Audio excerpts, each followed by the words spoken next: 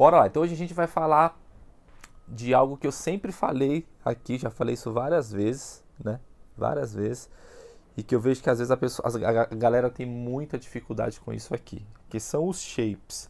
Por que os shapes? Porque os shapes, cara, são algo que se você não souber o motivo do shape, se você não souber como usar um shape ao seu favor, você vai sempre cometer esses mesmos erros, beleza? Então, antes de tudo, a gente vai começar orando aqui para a gente começar como de costume, beleza? Senhor Jesus, a Ti rendo graças ao Pai por mais essa oportunidade que o Senhor nos deu de estarmos aqui juntos, reunidos para aprender mais, para crescer mais e fazer cada dia mais o melhor para Ti, Deus. Que o Senhor continue nos capacitando, continue derramando da Tua graça sobre nós e que nós possamos juntos aqui crescer, aprender e continuar evoluindo cada dia mais, Pai. Muito obrigado por mais essa oportunidade, muito obrigado por cada irmão que está aqui assistindo também. Isso daqui não é nem a sombra do que é de vir, Pai. Tamo junto, em nome de Jesus. Amém. Bora lá, tá certo agora, fechou. Combinado então. Shapes, quais são os problemas que a gente vê nos shapes? Infelizmente, isso acontece muito e eu não sei aqui quem tem problemas com os shapes. Eu vou falar aqui, você pensa e você me responde. O que, que acontece? As pessoas sempre quando vocês foram aprender a tocar baixo, vocês foram aprender a tocar alguma coisa no baixo, qual que é a primeira coisa que vocês querem aprender? Qual que é a primeira coisa que a gente busca aprender? Pô, vou aprender um shape da escala, vou aprender o shape das pentatônicas, vou aprender os shapes disso, vou aprender os shapes daquilo. E cara, querendo ou não, você começar a aprender nos shapes, você começar pensando nos shapes, você está cada vez mais atrasando o seu aprendizado. Por quê? Porque os shapes, eles funcionam para certas coisas, tá? Os shapes eles funcionam para certas coisas que pode facilitar o seu jeito de tocar ou não. E as pessoas conforme elas vão te ensinando, as pessoas sempre te ensinam shapes pronto para tudo. Então o cara fala assim: "Ah, vou fazer uma frase aqui, toma essa frase, qual o shape dessa frase? Ah, vou fazer uma escala, pega o shape dessa escala. Vou fazer não sei o que, pega o shape desse não sei o que". E só que dessa forma você acaba ficando limitado na hora de você ir tocar. Por quê? Você acaba virando um robô, na verdade. Na hora de você tocar, na hora de você passar isso para o baixo, você vê que uma, não fica musical, dois, você faz sempre as mesmas coisas e três, você às vezes não sabe nem linkar um shape com outro para que diversifique a sua maneira de tocar. Então você fica sempre fazendo as mesmas coisas, fazendo as mesmas coisas. Você está tocando ali um acorde, por exemplo, mi menor. Aí você está ali tocando mi, você vai fazer alguma coisa, você faz o shape de mi. Ah, tá tocando aqui um Ré. O Ré maior. Pô, vou fazer alguma coisa no Ré. Faz shape. Porque a pessoa acostumou, vocês foram acostumados, doutrinados a ficar pensando sempre em shape, sempre em shape, sempre em shape. E querendo ou não, isso acabou viciando vocês, ou não. Quem tem vício de fazer shape, fala assim, Douglas, eu só fico fazendo shape, eu só toco shape, coloca aí nos comentários para eu saber. Você pensar pelo shape, ele não é, o shape ele não é ruim. Mas a maneira de você ficar preso a isso, você ficar pensando somente nisso, é o que te atrapalha. Os shapes, para que, que eles funcionam de verdade? Os shapes como, é como se fosse uma maneira de você visualizar uma sequência de notas para que você, musicalmente, transforme isso em algo musical. Vamos supor, se você for tocar, por exemplo, um acorde de Ré maior, ó, tem um acorde de Ré maior aqui. E de vez você pegar esse acorde de Ré maior quando você estiver tocando e você fazer o shape da escala, que é de costume, todo mundo faz isso, né? Todo mundo não, todo mundo é muita gente. Mas todo mundo que aprendeu de, dessa, dessa forma né, errada de aprender, de ficar memorizando shape, decorando shape, costuma fazer dessa forma.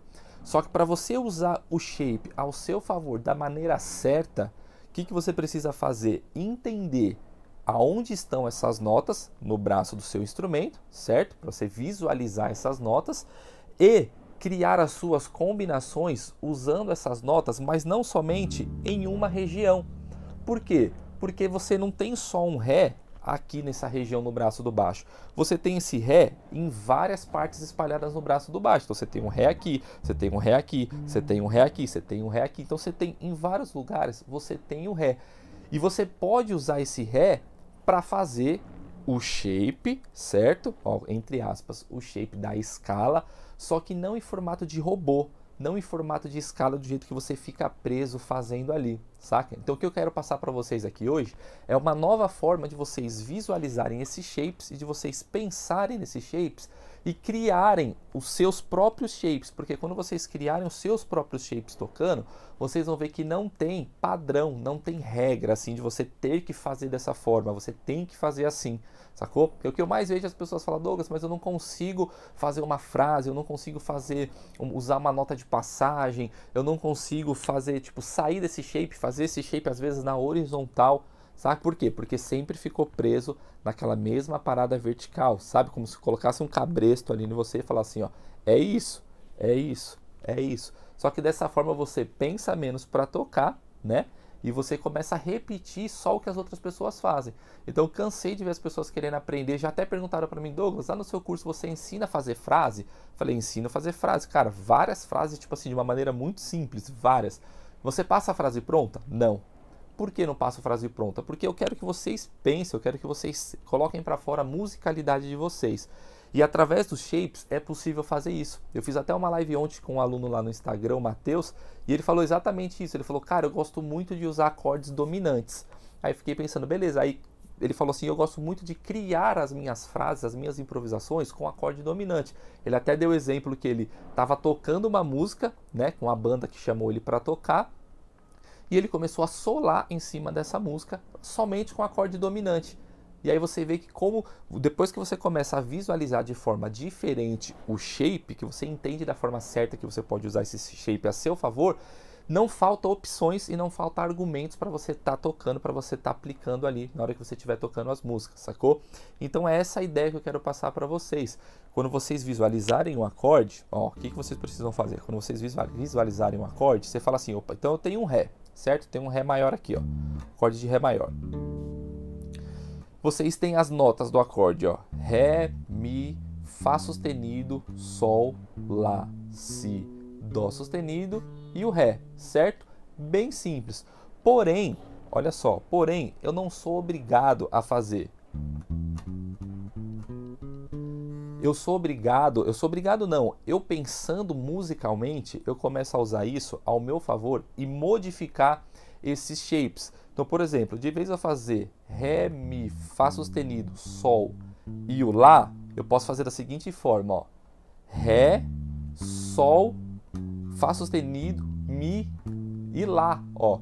Só de eu mudar a sequência, só de eu mudar a forma aqui do shape, ó, eu já tenho outra sonoridade totalmente diferente da minha escala normal. Ó.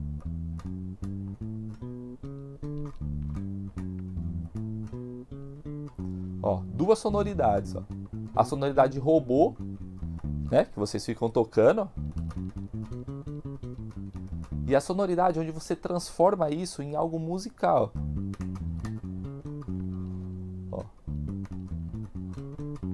Olha a diferença de sonoridades e de ideias que vocês têm só de fazer uma modificação aqui no shape, certo? Só de vocês pensarem de forma diferente. Então, quando vocês forem pensar, fala, Douglas, ah, eu não consigo criar as minhas frases, eu não consigo criar as minhas ideias, eu não consigo colocar nos acordes ali algumas coisas que ficariam legais. Né? Vocês, aí você lembra disso que eu estou te ensinando aqui.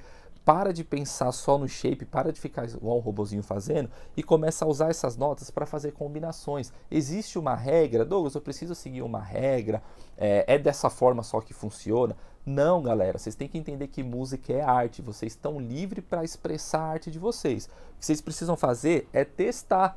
Pega um acorde, ó, e começa a fazer variações com essas mesmas notinhas que vocês têm aqui, sacou? Essas mesmas notas que vocês têm aqui, vocês podem fazer variações e combinações e isso vai surgir cada vez mais frases, cada vez mais ideias para vocês tocarem. Vocês estão entendendo até aqui? Pode, podemos dar continuidade? Me fala aí, vocês estão entendendo? Estão captando a ideia até aqui? Manda aí nos comentários para eu ver aqui para vocês. E qual que é o lance disso? É vocês começarem a visualizar o braço de uma forma mais ampla. Para quê? Para que a evolução de vocês seja mais rápida.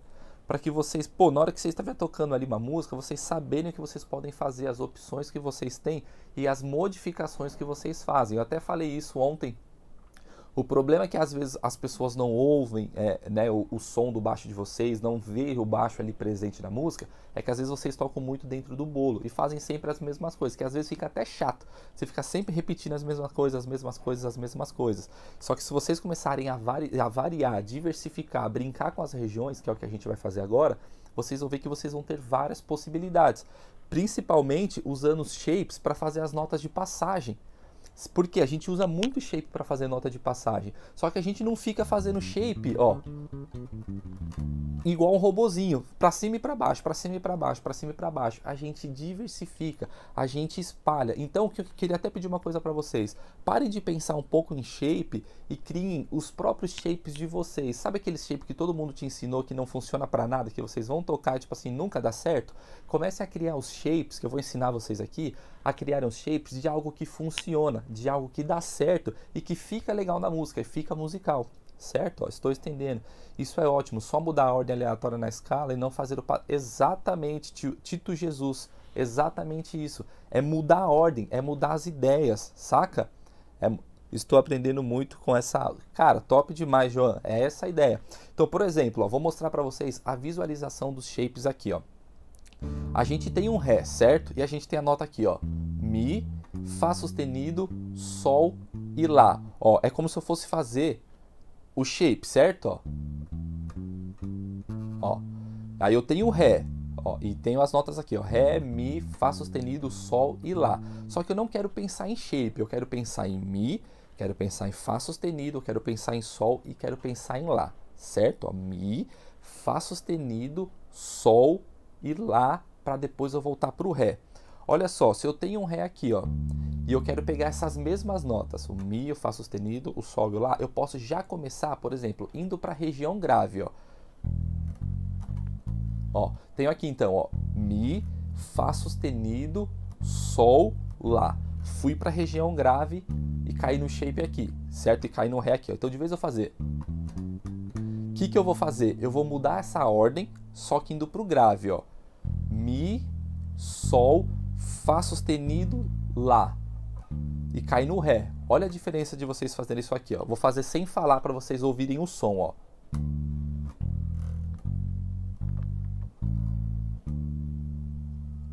Invertendo.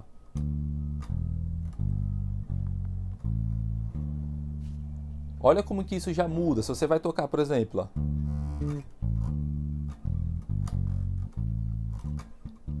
só de você inverter, ó.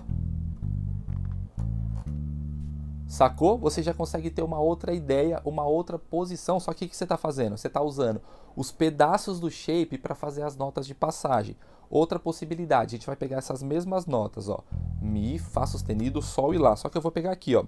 Mi, Fá sustenido, ó. Mi, Fá sustenido. E cai no Ré, ó. Ré, aí vou pegar aqui, ó. Mi, Mi, Fá sustenido, Sol, Lá e Ré.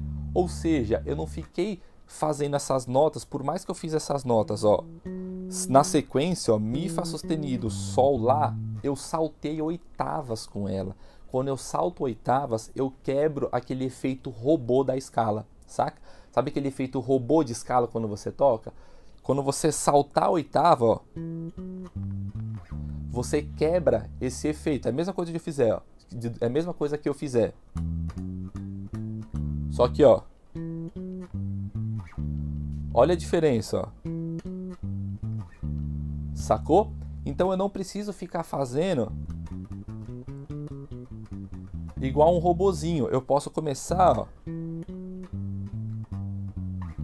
ó, a saltar com as notas, ó. Se eu quiser colocar mais notas da escala, eu vou fazer essas mesmas notas, ó. Mi, Fá sustenido, Sol, Lá, Si, Dó sustenido e Ré, certo? Ó, Mi, Fá sustenido, Sol, Lá, Si, Dó sustenido, Ré.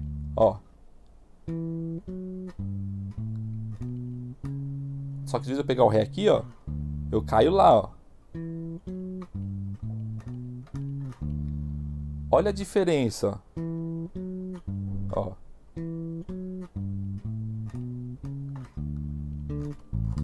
vez a fazer.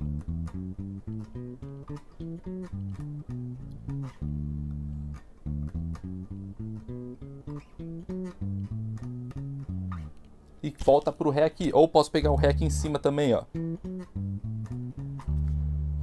Posso pegar o Ré aqui em cima. O que, que eu estou fazendo? Eu estou brincando com as regiões.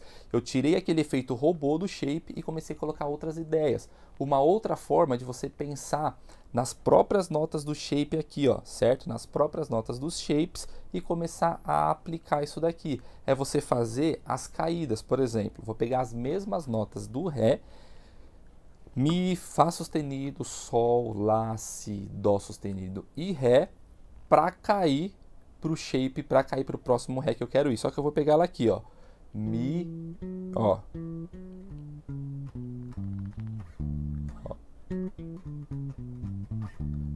ó. Só mudando a ordem também, ó.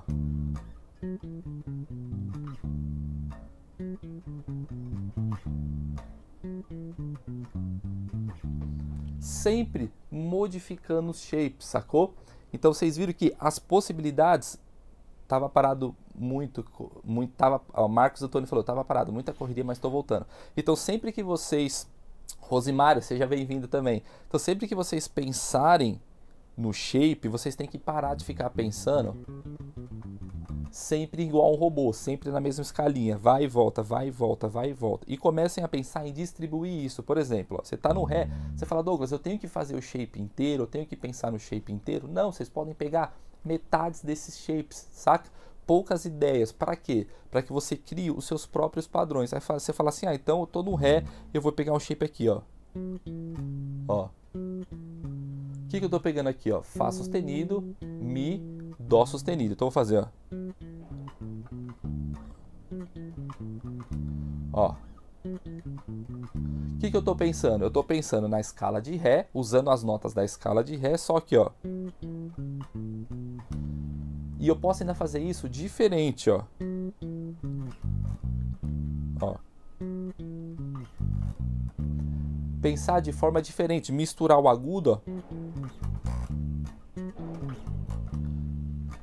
Pedaço do agudo com pedaço do grave. Então o que, que eu fiz? Eu peguei os pedaços dos shapes que eu queria, das notas que eu fiz, né? E, estou criando os meus próprios shapes, as minhas próprias formas de tocar. Dessa forma, dessa forma, eu não fico preso, né? Eu não fico preso ali sempre fazendo as mesmas coisas, certo? Saca? e eu começo a caminhar mais fluente no braço do baixo, né? Eu gosto sempre de fazer uma parada, que, tipo assim, a gente tá tocando e faz. Né? Tipo, você faz uma parada de caída, né? E só disso vocês conseguem fazer várias coisas. Por quê? O que, que eu tô fazendo? Eu tô pensando na escala, mas eu não tô preso a shape. Eu não tô preso nos shapes. Eu começo a diversificar, ó. Ó.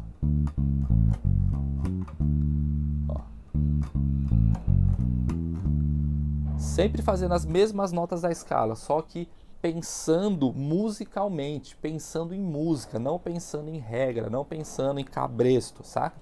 Começando a colocar para fora a música que está dentro de mim. Assim a gente consegue ter uma evolução muito maior e muito mais rápida. Porque eu já falei isso várias vezes. A música a gente primeiro pensa, no que a gente quer fazer, né? a, gente, a gente ouve uma sonoridade, a gente pensa naquilo, a gente processa aquilo, a gente monta a ideia na nossa cabeça e depois a gente passa para o baixo. Depois que a gente vai aplicar aqui no baixo. Só que para você aplicar aqui no baixo, você primeiro tem que quebrar esses vícios, essas paradas que ficam prendendo vocês de evoluir, de conseguir fluir no braço do baixo, saca? De conseguir continuar. Se às vezes você começa uma ideia, se às vezes você tem até medo de sair para fazer uma frase, sair para fazer alguma ideia no, no, no, braço do baixo, você tem medo de sair porque você fala assim: ah, eu vou sair, eu faço sempre as mesmas, as mesmas coisas, eu faço sempre os mesmos shapes, eu faço sempre isso, sempre aquilo. Então eu queria passar para vocês, galera, exatamente isso. Comecem a pensar fora da caixa, comecem a pensar mais musicalmente. Comecem a pensar, talvez, por intervalos, de vez vocês pensarem por shapes, pensem por intervalos, por combinações, ou criem, igual eu passei para vocês várias ideias, criem os próprios shapes de vocês, certo? Me fala aí, é, quem que toca assim usando os shapes e qual a dificuldade que vocês têm nessa questão, nesse assunto? Enquanto eu tomo uma aguinha aqui.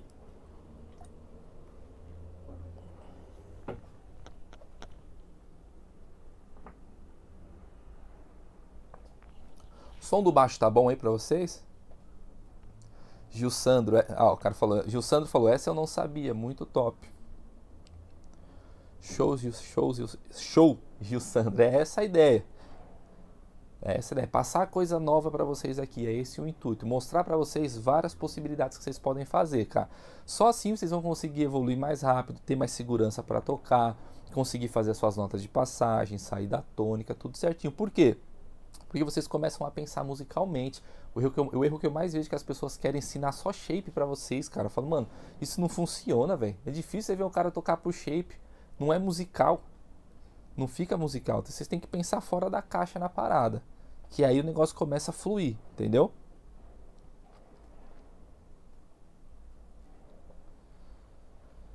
Me fala aí, qual que é, o, qual que é a maior dificuldade que vocês têm com os shapes? Me fala aí, me, me manda aí nos comentários que eu vou. Ó, eu sempre toco assim no padrão mesmo, mas bom saber em inverter a sequência. Tem que sempre inverter, cara. Sempre inverter, porque o padrão só vai te dar um som. Imagina, você fala assim, ó. Você tá tocando um Ré. Aí você fala assim, ah, eu não queria esse som de, de escala. Mas você só fica no padrão. Aí você fala, ah, vou pegar o Ré aqui. É a mesma coisa.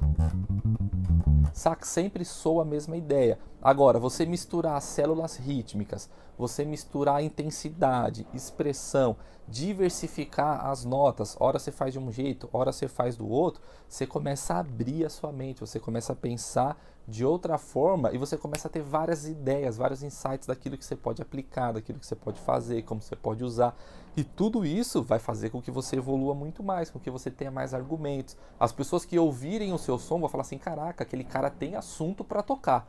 Aquele cara ele não fica só repetindo, ele não é só mais um baixista que faz sempre as mesmas coisas. Aquele cara ele tem assunto para tocar. O problema é que também tem muito aluno que é preguiçoso, só quer aprender shape. Aí o cara fala assim: "Ah, você me ensina a fazer essa frase?" "Ah, você me ensina o shape do não sei o quê?" "Você me ensina o shape do não sei o quê?" Só que aí você vê o aluno, ele fica anos e anos e anos e anos sempre buscando a mesma coisa. Por quê? Porque quer ficar preso nas regras, quer ficar preso nos shapes e não vai. Não adianta. Uma ideia que vocês podem usar esses shapes também, que é bem legal, é, por exemplo, vocês estão num Ré maior e vocês querem passar para um Fá sustenido menor, certo? Você tem um Fá sustenido aqui, tem um Fá sustenido aqui.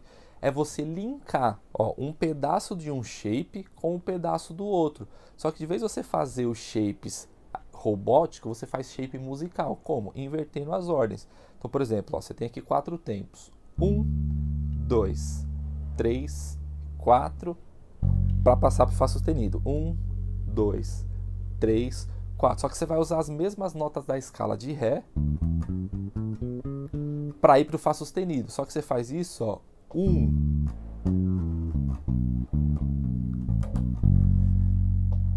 Ó, o que, que eu pensei? Totalmente fora de shape. Eu fui criando as minhas ideias só pensando nas notas da escala.